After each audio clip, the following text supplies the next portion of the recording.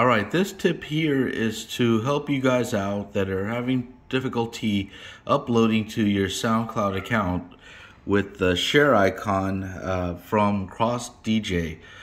Um, as far as we all know, it doesn't work anymore. So the easiest fix we can do as of today is uh, to just bypass it by simply going to your Internet Explorer and signing into your SoundCloud account.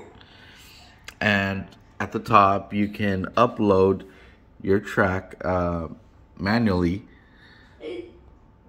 So we'll just have to go through here, choose file. Um, not acapella, where is it? Yeah, that is the one, the new one.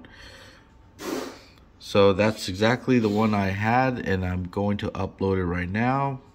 And it's a simple way to bypass uh, this issue with the Cross DJ not uploading music.